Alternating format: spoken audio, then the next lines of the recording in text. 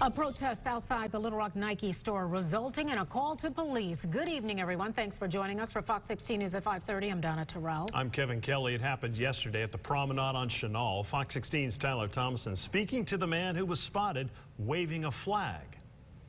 Yeah, it was a thin blue line waving underneath the Nike swoosh outside the outlet store in Little Rock yesterday. The man with the flag tells me he just wanted to show support for law enforcement and first responders. Now, what better place to wave the flag was right here in front of the Nike store.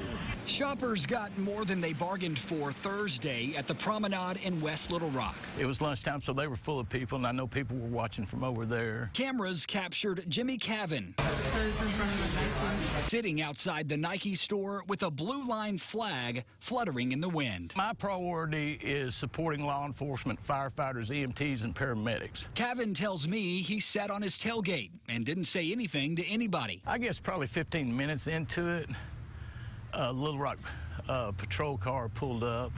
According to a police report Cavin showed us, officers showed up after a store manager reported a disturbance. Of course, we chatted. He realized I wasn't doing anything wrong. And Cavin says almost as quickly as they arrived, police left. So Nike called the police on the guys supporting the police for supporting the police. It comes on the heels of Nike's new promotional launch featuring Colin Kaepernick. The former NFL quarterback drew controversy for kneeling during the national anthem.